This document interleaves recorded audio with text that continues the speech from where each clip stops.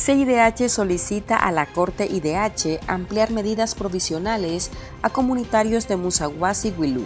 Preocupa alarmante nivel de violencia contra los indígenas y la inacción del régimen de Ortega.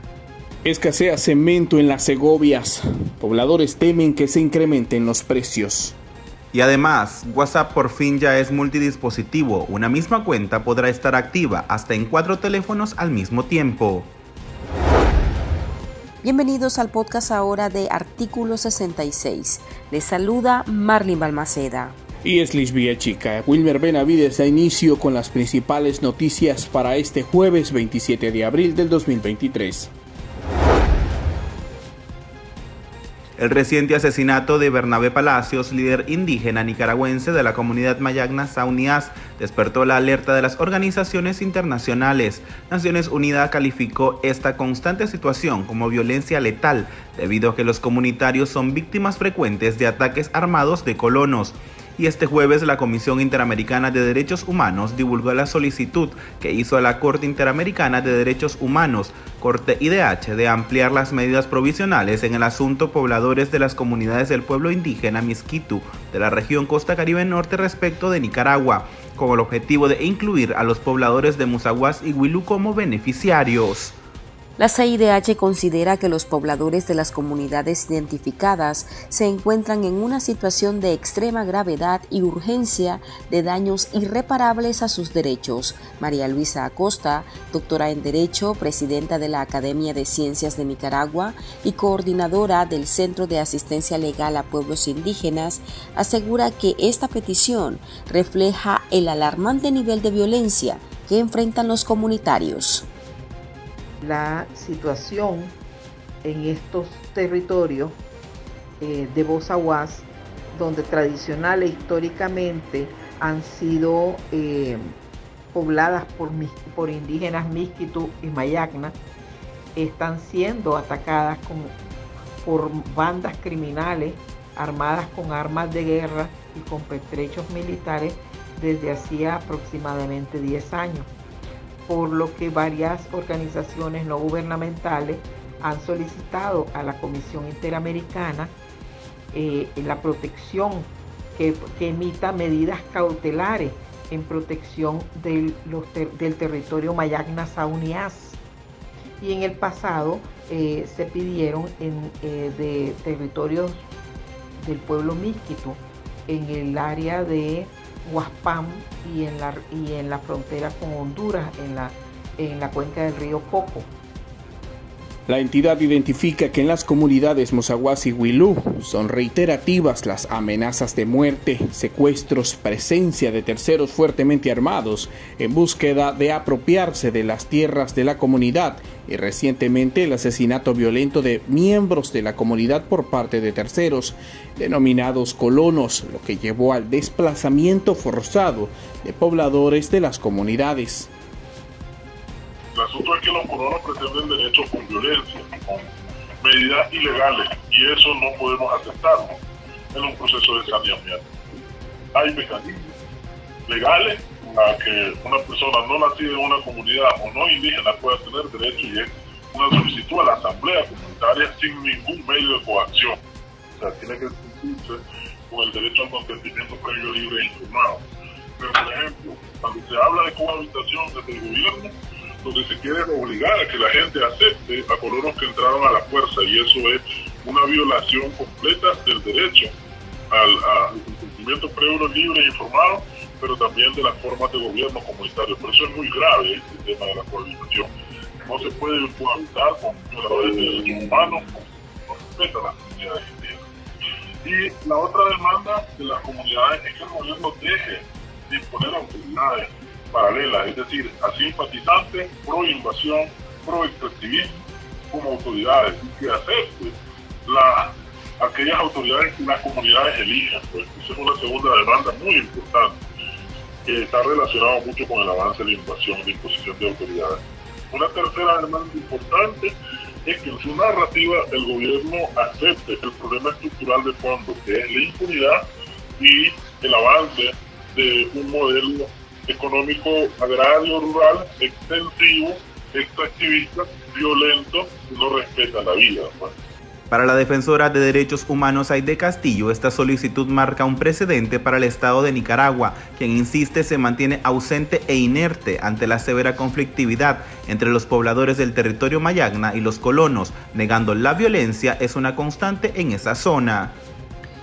La Corte Interamericana de Derechos Humanos el 13 de febrero de 2022 había otorgado medidas cautelares a favor de los pobladores de las comunidades de Musaguas y Huilú.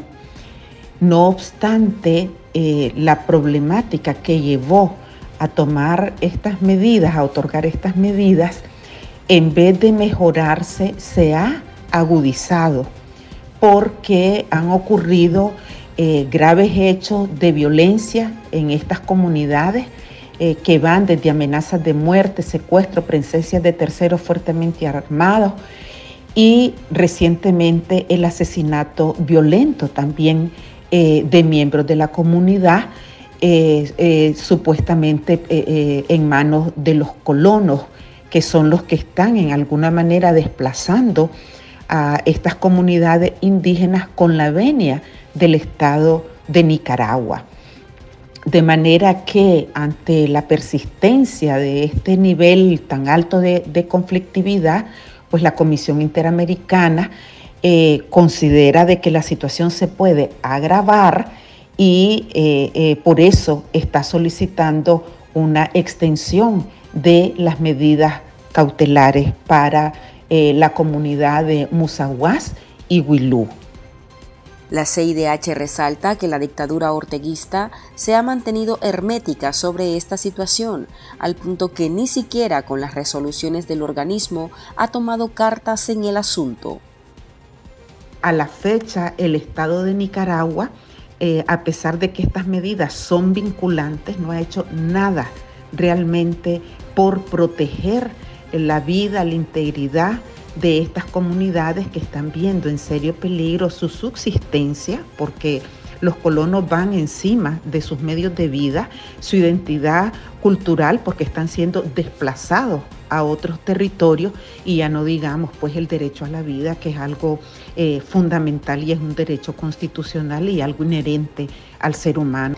La idea es que eh, el Estado de Nicaragua acate estas medidas una vez que las haya emitido la Corte y que eh, proteja a, estos pueblos de los ataques sistemáticos reiterados de estas bandas criminales armadas con armas de guerra que en este momento están atacándolas y los están privando a estas comunidades de sus áreas de siembra, de, de recolección de frutos, de caza, de pesca, eh, de, eh, privándolas de transportarse en los propios eh, ríos donde ellos generalmente transitan y de también utilizar la área de, caza y de pesca y, de, de, recolección de frutos y también de siembras porque han ido usurpándoles las tierras de tal forma que cada vez las comunidades van perdiendo control de sus territorios tradicionales todos titulados por el Estado de Nicaragua, y estas bandas de manera violenta están usurpándola, utilizando eh, eh, eh, la violencia, ¿verdad? Estas bandas son bandas criminales con armas de guerra que atacan a estas poblaciones civiles desarmadas como son las comunidades indígenas. Calpi estima que 70 indígenas misquitos y mayagnas de la costa caribe de Nicaragua han sido asesinados por colonos invasores en la última década. Otros han sido víctimas de secuestro, violaciones sexuales, desplazamientos forzados, traumas psicológicos y heridas que los han dejado con amputaciones. Eh, y porque el gobierno lo que normalmente dice es que son personales, son de delincuencia común y niega el problema de fondo, que es todo este tema de violencia por, por, nuestros territorios. Y en ese sentido también la, la cuarta demanda muy importante es que deje, el, Estado deje de criminalizar y de perseguir a, a liderazgos que se están organizando y que están trabajando en la defensa del derecho a la comunidad. Y que incluso también las organizaciones que históricamente han estado trabajando, varias fueron uh, suspendidas su, su, personería jurídica. Y en este sentido, todo este tipo de medidas, tanto la criminalización como la suspensión de, de personería jurídica de organizaciones de sociedad civil que trabajan con comunidades, debilita la resistencia comunitaria y deja en mayor indefensión a las comunidades. Por eso es muy grave, por ejemplo. La comisión solicitó a la Corte que ordene al Estado proteger y garantizar la vida, integridad personal y territorial e identidad cultural en favor de los miembros de las comunidades de Musawas y Wilú, así como a las personas que hayan tenido que abandonar las comunidades y deseen regresar. Los usuarios de WhatsApp podrán usar el servicio de mensajería hasta en cuatro teléfonos al mismo tiempo. Así lo dio a conocer Mark Zuckerberg en Facebook y en Instagram. Con ello, WhatsApp se transforma en multidispositivo, lo que permitirá poder tener una sesión abierta en varios celulares sin preocuparse de que uno de ellos se dañe o que quede sin batería. Estos cambios se irán realizando de forma gradual durante las próximas semanas. Hasta ahora los usuarios solo podían usar una cuenta de WhatsApp en un teléfono, aunque sí estaba habilitado para vincularlos a varios dispositivos de escritorio complementarios como computadoras o tablets. El consultor en marketing digital y creador de contenido Manuel Díaz valora este ajuste como un interés de dirigir la plataforma a negocios que demanden tener una comunicación constante con los usuarios, pero también ve un riesgo con la posibilidad de tener abierta la misma cuenta en varios teléfonos. Siempre que en tecnología vos hablas en, términos de comodidad y en este caso se trata de algo que te trae más comodidad porque no estás amarrado a un solo dispositivo, abrís la puerta a inseguridad. Entonces, sin haber eh, hecho pruebas, sin haber este, escuchado de casos específicos, pero en términos generales, siempre que hace algo por hacer más cómoda la tecnología, estás abriendo eh, la puerta a nuevas vulnerabilidades. Entonces, lo primero que te diría es que esta nueva función probablemente este, va a tener un proceso de eh, acomodamiento en términos de seguridad. Entiendo que siempre va a haber una cuenta principal y las otras van a ser una especie de accesoria, pero igual eh, mientras más posibilidades, más entradas hayan, pues entonces la cuenta es más insegura. Entonces, esa es eh, mi primera impresión. Después lo que se me ocurre es que si se trata de una, una nueva función para eh, facilitar las nuevas Facebook o Meta, mejor dicho, ha estado trabajando en convertir WhatsApp en un canal de comunicación más allá de simple mensajes de texto entre usuarios. Entonces, creo que es un favor, o mejor dicho, una, una característica para tener más clientes corporativos y facilitar el uso en comunicación entre empresas y usuarios. WhatsApp es uno de los servicios de mensajería más grandes que existen en el mundo, con más de 2 mil millones de usuarios. Sin embargo, carecía de soporte multiteléfono debido al sistema de encriptación de extremo a extremo para chat y llamadas, han explicado desde Meta. La aplicación de WhatsApp es considerada una de las más seguras de todo el mercado precisamente por su cifrado de extremo a extremo ya que el texto, imagen y audio se convierten en códigos que ni los mismos servidores pueden decodificar, pues viaja en claves. Para permitir estos cambios, los usuarios deben entrar a ajustes de WhatsApp para agregar las cuentas deseadas. Solo necesitan escanear el código QR que representa a la cuenta que desea vincular. Y estas son otras noticias que usted también debería saber hoy. La portavoz del régimen de Nicaragua, Rosario Murillo, informó que la mañana de este jueves llegó al país una nueva flota de 150 buses rusos, la que servirá para renovar las antiguas y desgastadas unidades de transporte colectivo de Managua. El régimen de Daniel Ortega usualmente aprovecha el arribo de estas unidades para hacer propaganda política en favor del Frente Sandinista de Liberación Nacional.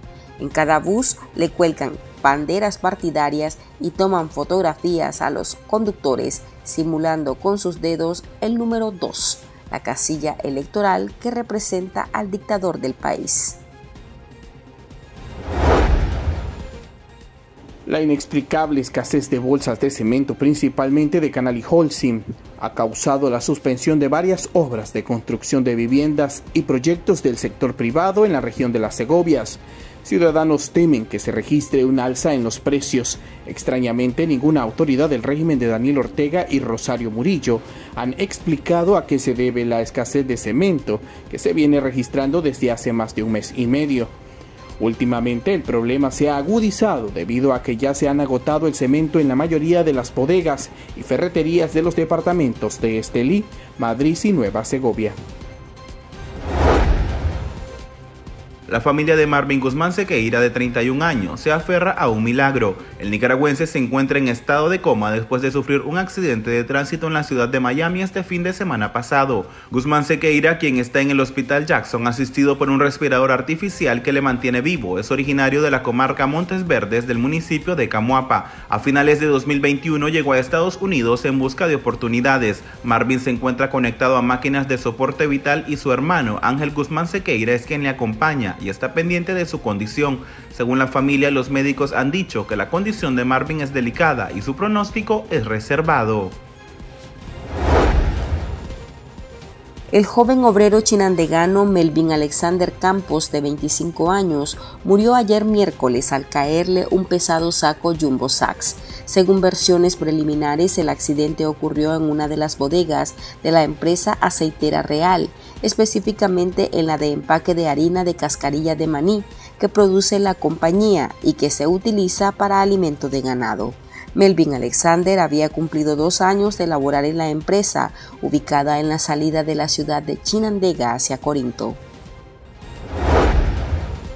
Aquí termina el episodio de este jueves. Recuerde que estas y otras noticias usted las puede encontrar en nuestro sitio web www.articulo66.com. También pueden suscribirse a nuestro podcast en Spotify y seguirnos en las redes sociales como Artículo 66 y en Twitter arroba Artículo 66 Nica. Hasta la próxima.